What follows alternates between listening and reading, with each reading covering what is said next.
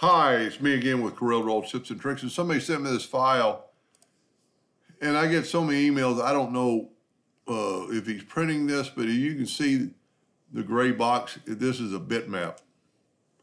He, his only problem is it won't print.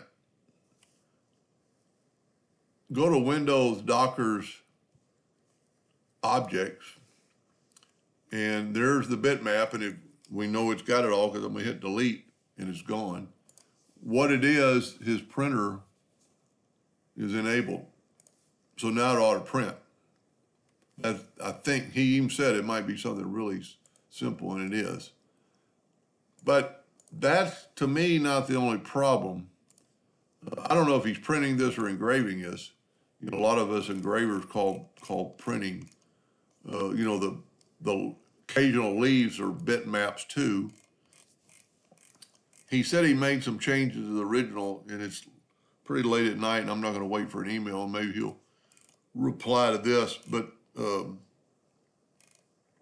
all the white background is gone. I mean, it's, um, nothing there. Um, you know, I mean, I even did a yellow box trick, so he doesn't have any, uh, hidden white background to it. Go to order, put it back a page. But it's still a bitmap, uh, cause it, you know, if you look, there's the bitmap bounding box or whatever you wanna call it. This particular one, I think even if you're printing it, you need to get rid of that bitmap. And I mean, even from the distance, the circles on the edge don't look like they're even joined and they're, they're rough.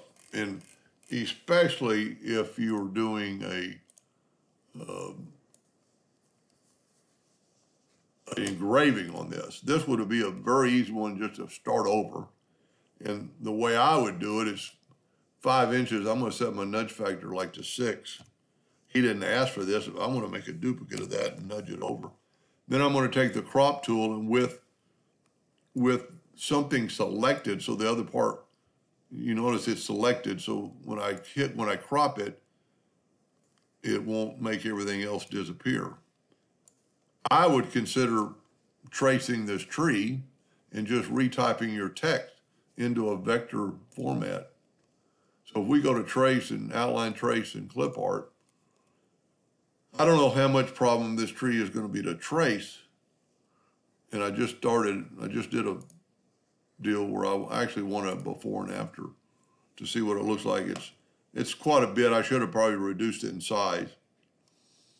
And hopefully this will help him because he didn't really ask for that.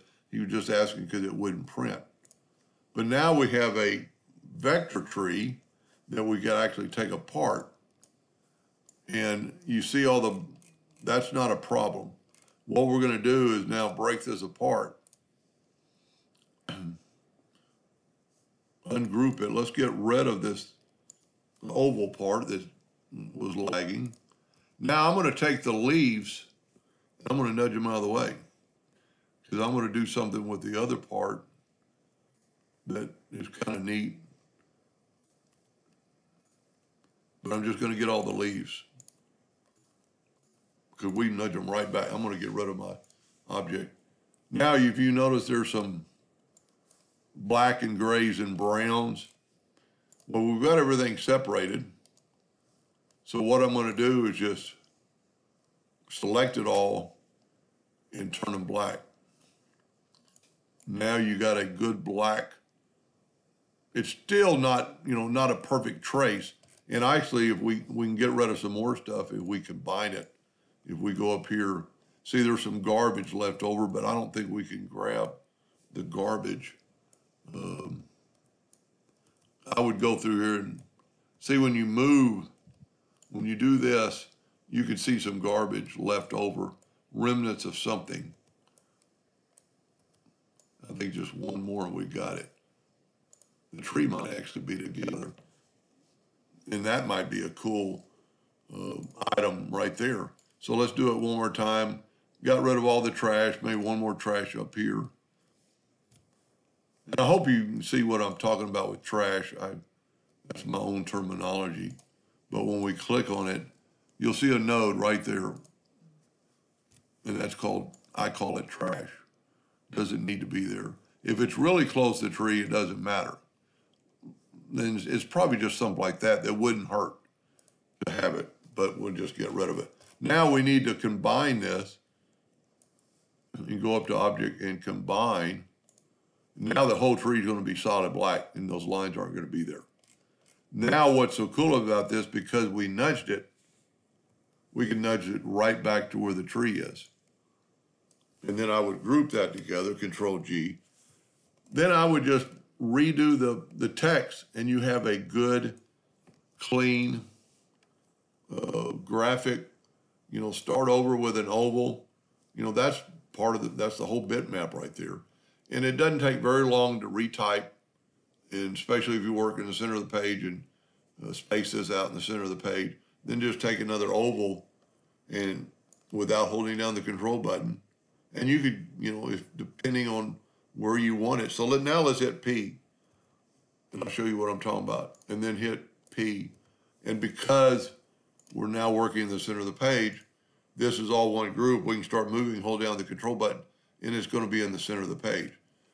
And then if you just take this in loving memory and retype it, I think you'll be a lot better. And then if we look at it under Object Manager now,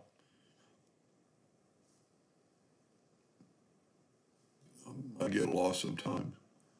See, now it's, it's in a printable layer, and that's an ellipse. That's the group of, everything's unlocked invisible. but there's our bitmap that you could just delete after you get it done. And then I guarantee it would print, and I guarantee you're gonna be happier with the quality. If you look at that tree versus this tree, I mean, look at the fuzziness, you're gonna get a lot better print. Anyway, I hope that helped. Thank you for watching.